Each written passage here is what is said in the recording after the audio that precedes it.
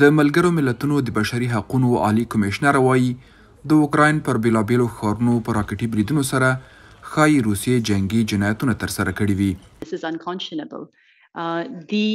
دغه بریدونه د توجیې وړ نه دي. موږ ټینګار کوو چې په ملکي خلکو او ملکي اهدافو باندې او هغه اهدافو باندې چې پوځي نه دي برید کول د جنګي جنایت ترسره کول دي.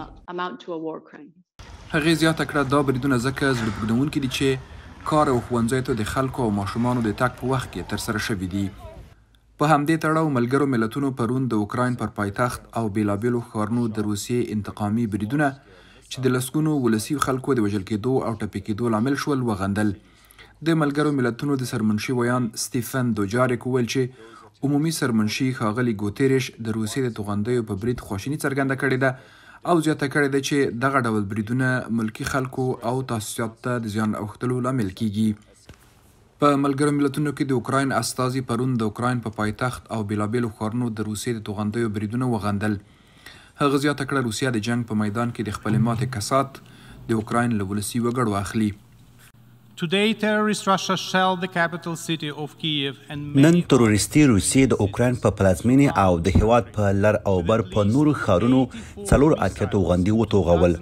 د ښارونو په مرکزونو کې د انرژۍ تاسیسات، د خلکو د استوګنې سیمې، ښوونځي او پوهنتونونه موزیمونه او څلورلارې د دغو بریدونو هدف وګرځول شوې چې د روسیې د دفاع وزارت وروسته مشروع هدفونه وبلل. په ورته وخت کې په ملګرو ملتونو کې د روسیې استازي اوکراین له ډېرو خطرناکو تروریستي سازمانونو سره پرتله کړ او ویې ویل چې د اوکراین پر پایتخت او نورو ښارونو یې د کریمې له ټاپو سره د روسیې په نښلوونکي پله د برید په ځواب کې د توغندیو بریدونه کړي دي.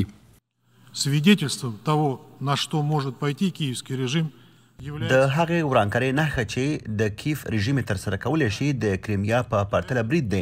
موږ خبرداری ورکړی و چې دغه برید به بې ځوابه پاتې نه شي. د ورانکارې په دې کړنو او د خپلو مخالفینو په وژلو سره د کیف رژیم د ډېرو ترهګرو سازمانونو په شان دی. یوازې د کیف رژیم او لوېدیځ ملاتړي غواړي چې په اوکراین کې جګړه اوږده شي او د اوکراین هر وګړی بیه پرې کړي. هغه پر لویدیځ او ناټو تور ولګاو چې په اوکراین کې د سولې غوښتونکي نه دي بلکې غواړي چې جګړه اوږده شي او روسیه ماته شي او یا هم ضعیفه شي مومن خان واحدي د امریکا غږ واشنگټن